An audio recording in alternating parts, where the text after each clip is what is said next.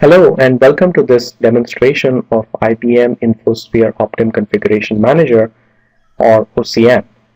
OCM allows you to manage the configurations of your servers and also of your clients.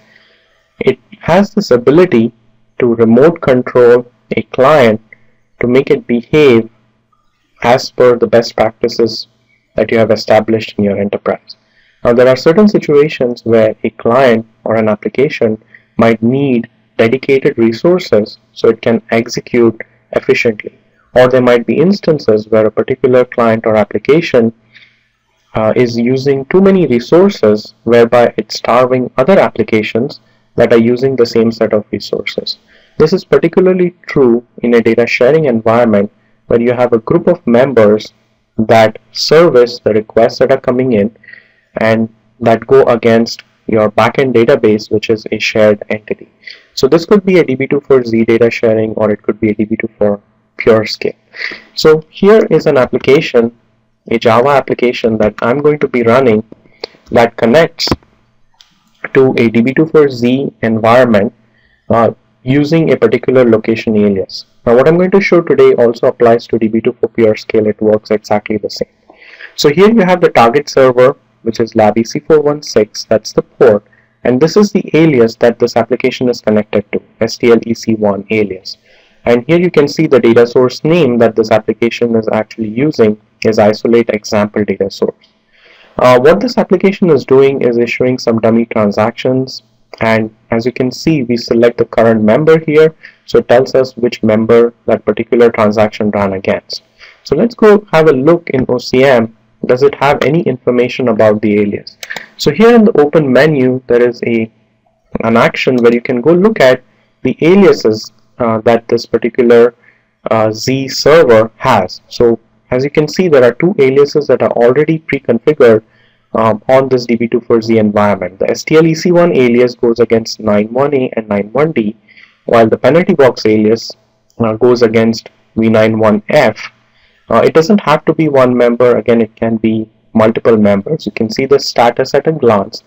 Uh, and with DB2 for z version 10, you also have the ability through OCM to define uh, these aliases as well. So I'm currently working with a DB2 for z environment that's version 9.1.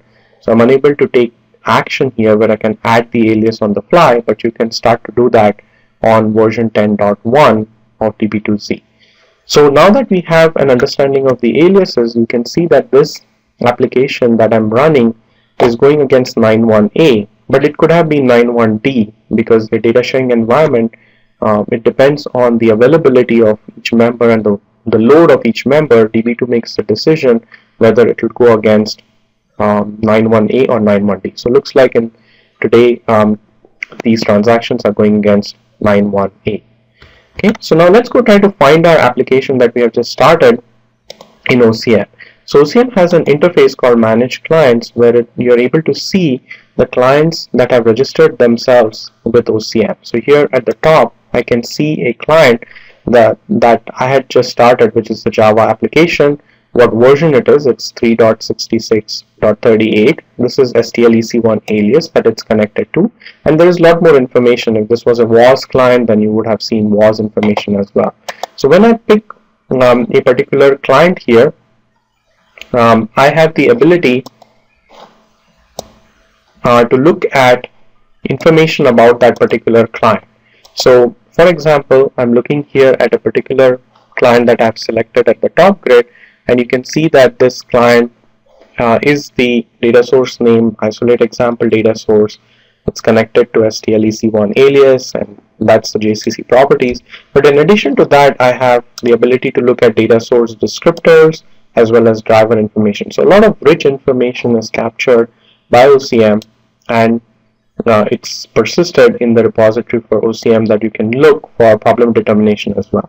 But we're not going to do that today that probably be a separate demo. So what I'm going to do now is pick the client that we want to uh, isolate here and go ahead and click on add rule. So a rule is nothing but the ability to identify the client and then provide an action to take on that client. So here's a rule set called mylabec rule set. I'm going to create a rule. I'm just going to call it my penalty box rule. and I'm going to specify an action here in, in which, which is isolate application transactions. So here it says in the description that it, this is a problematic application. It doesn't have to be problematic, but that's one of the reasons that you might want to isolate these transactions. And it's Java, so OCM already knows that this is a Java based rule. So I go ahead and click OK, and I can see that that rule is down below. So OCM already picked up a lot of information about this client just because we had selected it from the managed clients grid. So I don't need so many of these criteria, so I can go ahead and remove the ones that I don't want. The only thing that is interesting to me is that uh, it's connecting uh, using this data source name, which is isolate example data source. And that's the one that um, I would like to keep in this particular example. So this is how, this is a condition that will identify my client for me. And then I'm going to take some action. So in this case, we're going to uh, isolate this particular transaction workload um, and put it on this penalty box location. So all the all the aliases that are available to you are already pre-listed. So you pick one, it fills in the host and the port, and we're ready to go. So I save this rule, um, and it shows you in a summary uh, grid what is the rule that I just created. You can export this rule out, and you can get it through your uh, change management approval processes um, from here. And once you have the approval to go ahead and execute this rule set, you go ahead and pick the rule set up here and go click activate.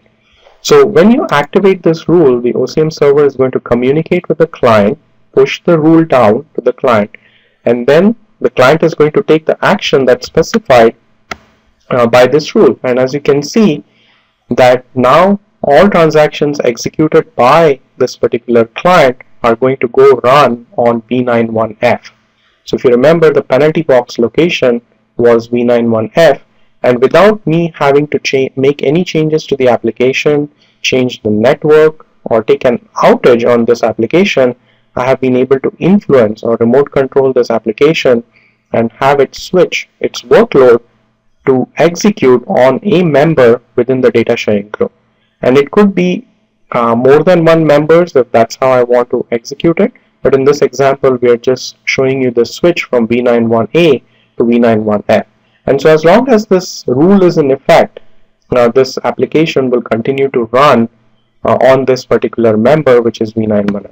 So let me go back here and then deactivate the rule. And so you can see that the rule set is no longer active.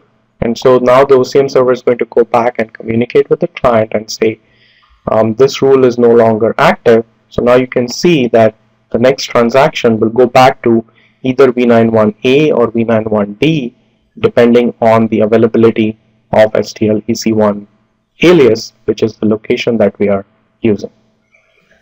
So this um, highlights the ability of OCM to dynamically switch a running workload without taking an outage or without taking making any changes to the application. You have the ability now through the tool to remote control a client so that it can go run and use specific resources.